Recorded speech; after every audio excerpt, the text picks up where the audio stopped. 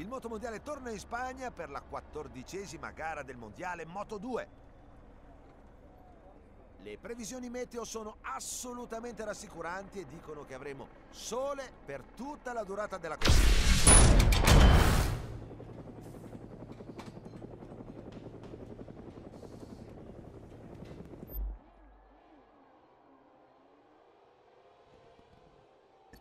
Ancora pochi istanti e inizierà il Gran Premio di Aragon.